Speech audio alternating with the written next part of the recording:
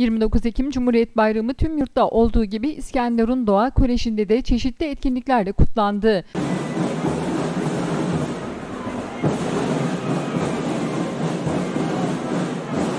Cumhuriyet'in ilanının 96. yıl dönümü nedeniyle bir araya gelen Doğa Koleji öğretmenleri, öğrencileri ve velileri okul bando takımı, meşaleler ve marşlar eşliğinde Park Forbes AVM önünden Atatürk Anıt Alanı'na kadar yürüyüş gerçekleştirdi.